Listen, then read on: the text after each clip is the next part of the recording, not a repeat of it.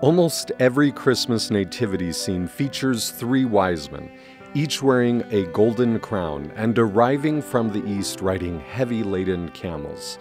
But what do we really know about the wise men? Were there really even three? What was the significance of their gifts? And what does their story teach us about our own journey to seek the Savior? For centuries, Christians have sought to learn more about the wise men. Some traditions even give them names, for example, Caspar, Melchior, and Balthazar. While we often picture three wise men, the scriptures don't actually tell us how many came. The only reason there so often are three magi is because they brought three gifts. Because of the dangers of traveling for long distances in a caravan, it is likely there were more than just three wise men. We also don't know where they even came from, only that they came from the East. While there are many theories on their origin, some scholars have suggested they came from Babylon and were of Jewish descent. In 587 BC, the Babylonians destroyed Jerusalem and carried away many Jews into slavery. Seventy years later, the Jews were allowed to return to their homeland. However, tens of thousands remained behind, creating in Babylon a thriving Jewish community. The wise men, being of Jewish descent, living in Babylon, makes logical sense because who more likely would be studying ancient Israelite prophecies about the coming Messiah? We can envision faithful Jews whose ancestors remained in Babylon continuing to search and celebrate God's sacred word. When a star appeared in the night sky, revealing that prophecies of the coming Messiah were about to be fulfilled, they left everything and traveled to Jerusalem. So, what about the wise men being kings, wearing crowns, and adorned in royal robes of wealth? It seems later Christians, in an effort to fill in the missing details, went searching in the Old Testament. Isaiah prophesied, And the Gentiles shall come to thy light, and kings to the brightness of thy rising. The multitude of camels shall cover thee. They shall bring gold and incense, and they shall show forth the praises of the Lord. From these verses, later Christians presumed the wise men must be Gentile kings, arriving on camels from faraway lands. While these verses may have partial fulfillment in the story of the wise men, the primary context of this prophecy seems to describe the last days and is yet to be fulfilled. This means our wise men were almost certainly not wearing crowns. After traveling a long distance from their homeland, the Magi arrived in Jerusalem in search of a newborn king. They first thought to visit the palace of King Herod, but this visit greatly troubled him.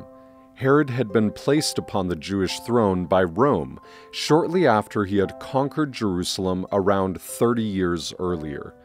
Because Herod was not of the royal family of King David and wasn't considered of true Jewish lineage, most Jews simply saw him as a Roman puppet king, whom the Lord would someday overthrow.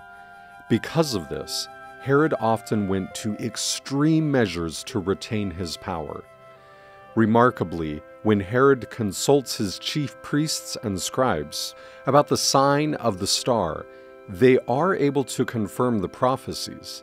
It appears they took two prophecies, one from Numbers and another from Micah, to identify where the infant king would be born.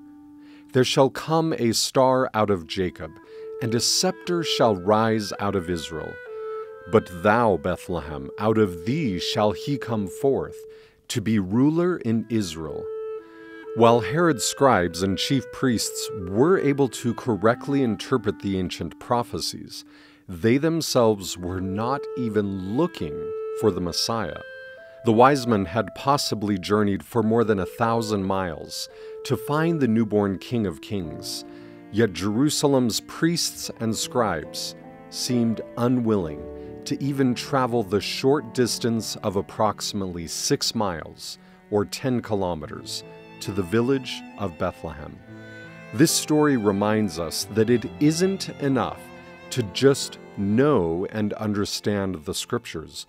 We must be willing to go the distance to find the Savior so that we too can kneel before him and worship him. Herod sends the wise men to Bethlehem, imploring them to report to him after finding the infant king, supposedly so he too can worship him. Imagine the scene as these foreign visitors from distant lands began asking around the neighborhood to find the birthplace of the young king. Many locals might have laughed and scorned the visitors for their peculiar request. We are not told how long they had to search, but eventually they did manage to find Joseph, Mary, and Jesus. Matthew records that by this time Jesus was a young child suggesting that they had been on their journey for several months, if not longer. It would have been a breathtaking moment for these faithful visitors who had traveled so far to find the young child. As they fell to the ground to worship him, they laid at his feet their precious gifts of gold, frankincense, and myrrh. But why these particular items? What is the significance of these gifts? Obviously, such things would not be at the top of any child's gift list today. Powerfully, all three gifts are connected to temple worship, seeming to foreshadow the redemptive and sacrificial mission of Christ. While jewelry, coins, and gold bars might come to our minds today when we think of gold, an ancient Jew would likely first think of God's tabernacle and holy temple. The Lord commanded Moses to cover much of the tabernacle, including its walls and all of its interior furniture, with gold. During the time of Jesus, King Herod was in the process of renovating the temple, and he had plated the entire facade and interior with large sheets of gold. If indeed these wise men were of Jewish origin, they would have seen gold as a most fitting and appropriate gift for Israel's Messiah King, who would be enthroned in the heavenly temple. Anciently, frankincense was more valuable by weight even than gold. The odors of human sweat, spoiling food, dung, smoke, and death would have dominated virtually every setting of daily life. Because of this, spices and incense, like frankincense and myrrh, were highly prized and quite valuable, as they helped in masking unpleasant odors. Both of these incenses came from certain trees that mostly grow in southern Arabia. The incense is actually just tree sap and is harvested by gouging the bark and letting the sap bleed out. After the sap dried, it was collected and brought by caravan to areas such as Jerusalem. The difficulty in harvesting and the long distance required in transport made the product extremely valuable. During the morning and evening prayers, frankincense was burned on the altar of incense at the temple. The smoke rising to heaven before the veil represented the prayers of the saints ascending to God. The gift of frankincense is an appropriate gift for the Savior for it is because of his sacrifice that our prayers can be answered by God. Myrrh was similarly used to mask unpleasant odors and was often used as part of the burial process. John records that Nicodemus provided large quantities of myrrh, which were used for the burial of the Savior. Myrrh was also melted down and added to the anointing oil for Aaron and his sons, and all future priests before they could serve at the temple.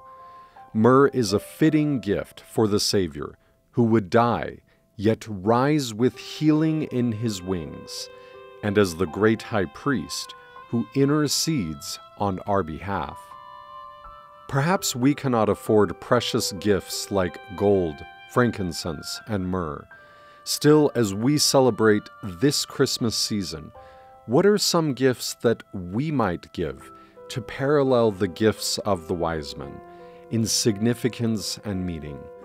Like the wise men, let us give the Lord the gift of our time in studying and understanding His sacred word, not just so we can understand the prophecies and revelations, but so that we can then go the distance, leaving behind every worldly thing to find the true King of Kings. Let us give to our Savior the gift of temple worship laying our sins and self serving desires on the altar of sacrifice, allowing the atonement of Jesus Christ to take effect in our lives. Let us give Jesus the gift of frankincense in the form of offering humble and meaningful prayers, morning and evening. As we kneel, let us pray for the strength and courage to serve others. Then let us rise to our feet and do the works of Christ.